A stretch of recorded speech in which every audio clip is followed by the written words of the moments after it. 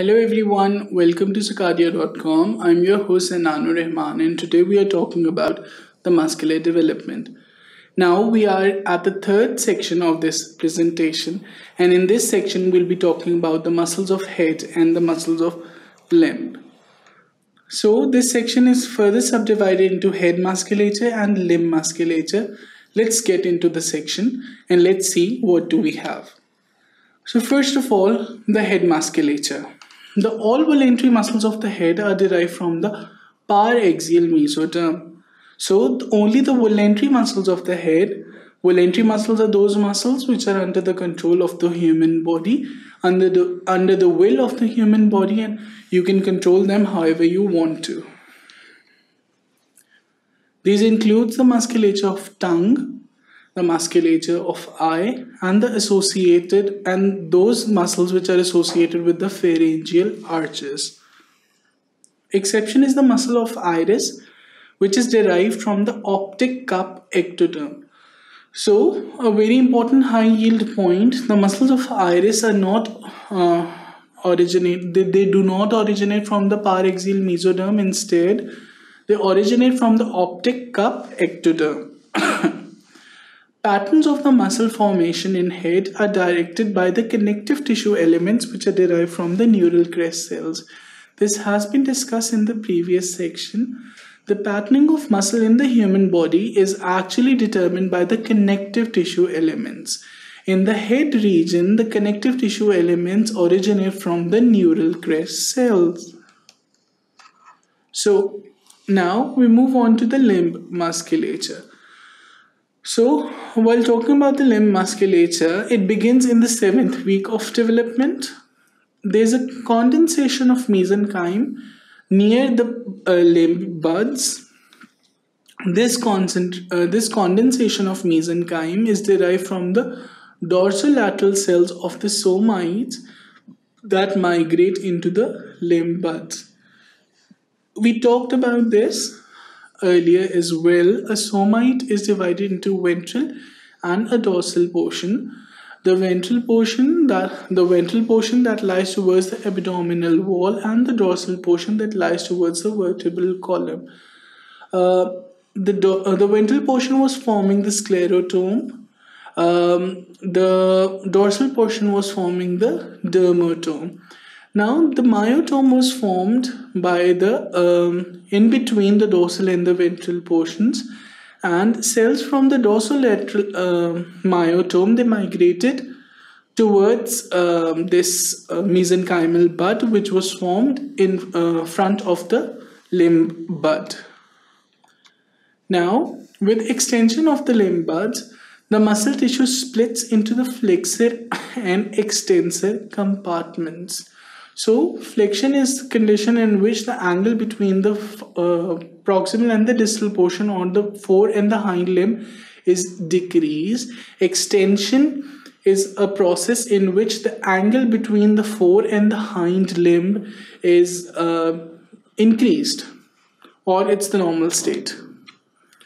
So the upper limb buds they lie opposite to the lower four lumbar and upper two sacral segments initially as soon as the buds form, the ventral prime rami from the appropriate spinal nerves now penetrate into the mesenchyme so that they may be able to innervate uh, the muscles.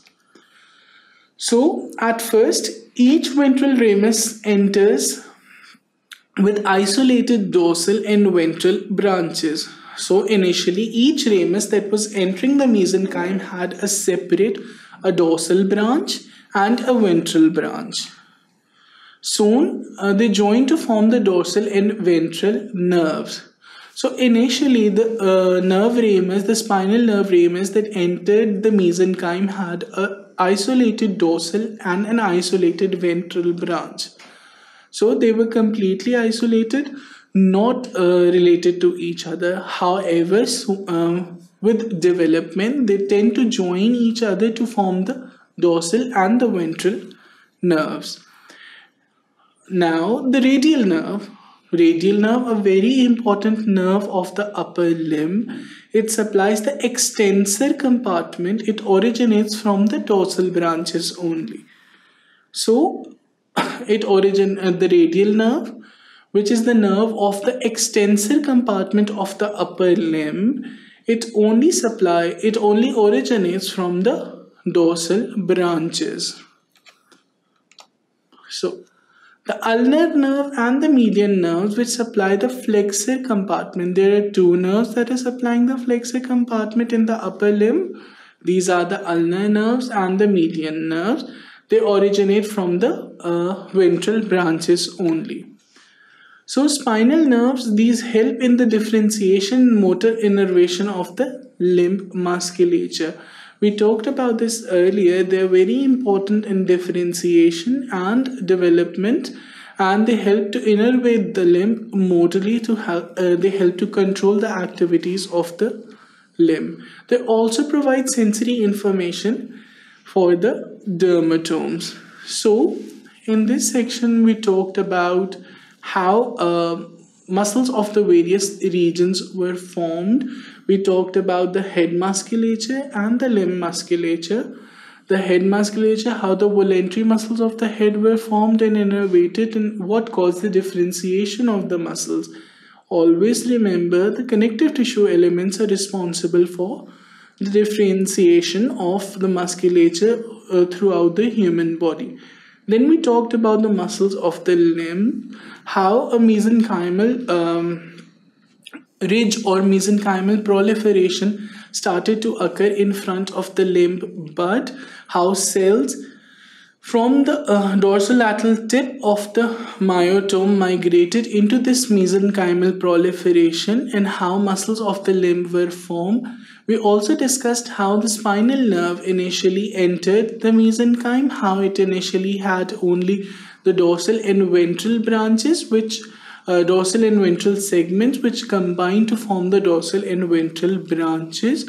We talked about how um, the radial nerve, which is the nerve of extensor compartment of the upper limb, originated uh, from the dorsal branches and we talked about how ulnar and median nerves which are the nerves of the flexor compartment originate from the ventral branches now, we saw how the spinal nerves helped in differentiation uh, and motor innervation of the limb musculature.